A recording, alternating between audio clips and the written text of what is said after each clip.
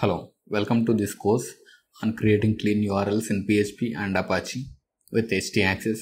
In this course, you will learn about creating clean URLs with htaccess in Apache server.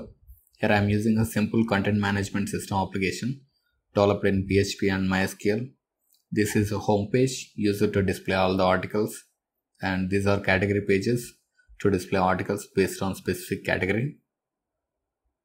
Here you can see the category URLs I'm going to convert this into clean URLs. These are the single article pages.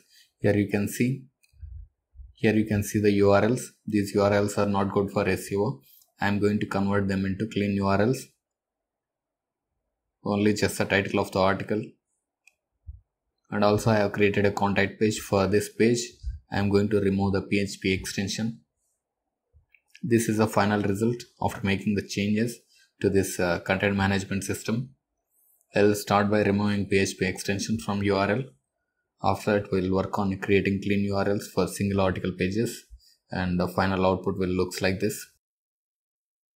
Next, it's a category URLs. After making category URLs as clean URLs, you will see like this.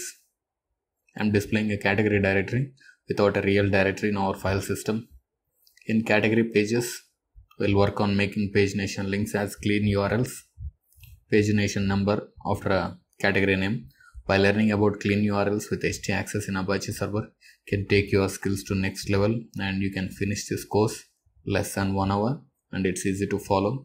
After this course, you will feel like you can create clean URLs in your projects without any doubt. Take action and join the course. We'll see you inside the course.